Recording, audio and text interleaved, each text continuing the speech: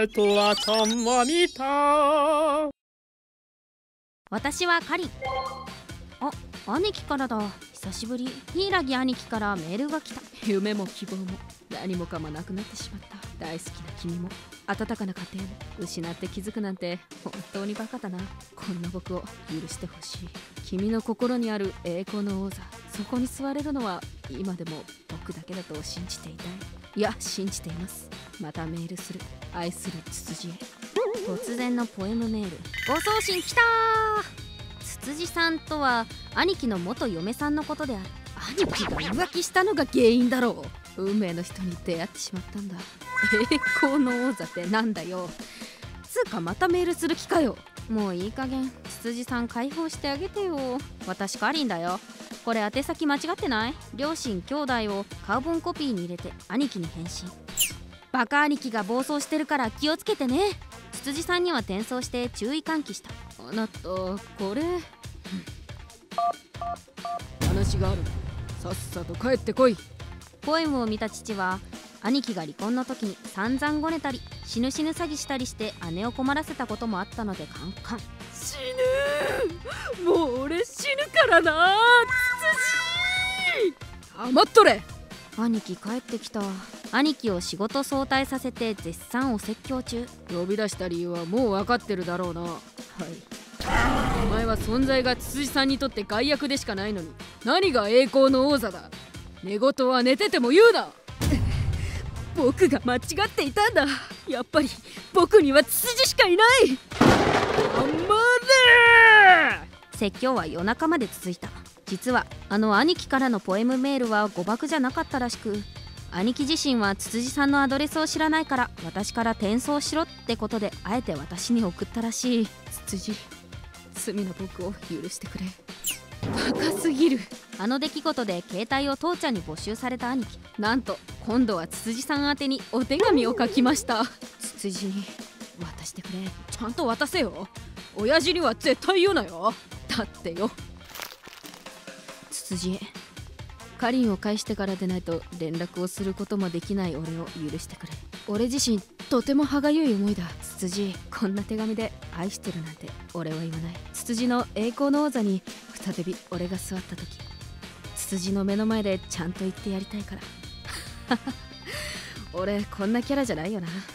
けど言いたいんだ。愛してる。ツツジまた手紙を送ります。栄光の王座。このセリフどんだけ気に入ってんの？しかも手紙で愛してるなんて言わないって言ってんのに最後愛してる言っちゃった。こんなんが実の兄貴かよ。もちろんこの手紙もサクッと父ちゃんへ。お父さん兄貴がまたつつじさんに。母ちゃんは泣きながらキッチンでずっとキャベツの千切りしてた。何がいけなかったのかしら。あんなにいい子だったのに。父からの呼び出し再び、父ちゃんはまるでうんこでも見るような目で兄貴を見ながら栄光の王座について説明させてた。栄光の王座ってなんだ？えー、ああ夫っていう立場のことです。ほうでえ？夫の立場って意味なら夫の立場と書けばいいのにわざわざ栄光の王座なんて書き方を恥ずかしげもなく堂々としかも2度も使用するからには何かグランドキャニオンよりも深い重要な意味があるんだろよほどの意味がないとあんな頭の悪さ全力営業な書き方できないもんな。で父ちゃん本当に鬼？泣く兄貴。こんな攻め方を1時間もされたら誰だって泣いちゃう。がしかし諦めが超悪い兄貴。郵便です。電報のお届けですとつつじさんの実家に電報を送りやがった。なぜかバルーンとセットになってるやつ。あんた元旦那さんから電報が来てるよ。えなんで？つつじさんのお母さんからの通報で発覚した。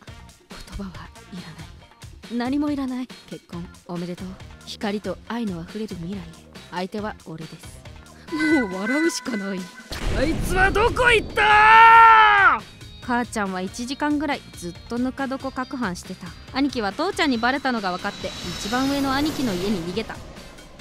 つつじさんは姉さんだけどもともとは私の中学の頃の先輩で友達。かりんちゃんとはこれからも友達だしそうなるとあの人と完全に縁を切ることって難しいしキンキン死って言ってもあんまり意味ないだろうしそこまではかわいそうかな。いやもうこんな兄貴で本当にごめんなさい。余談ですが兄貴を迎えに行った父ちゃん。兄貴を顔面グーパンしたらしい。一番上の兄貴だ。兄貴は北海道で牧場やってるおじさんとこに島流しが決定しました。少年を入れ直してこいやつつじ視聴いただきありがとうございました。ポエムメールを見て鳥肌が立った人もたくさんいらっしゃるのではないでしょうか。私も見ててもう見てられなくてあいたたたたたと思いながら見てました。いやいや本人は至って真面目に思いを伝えてるんですからそんなこと思っては失礼に値しますよね。反省反省。皆さんはどう感じましたか？コメント欄に書いていただけると嬉しいです。また少しでも面白いと思った方チャンネル登録と高評価をお願いいたします。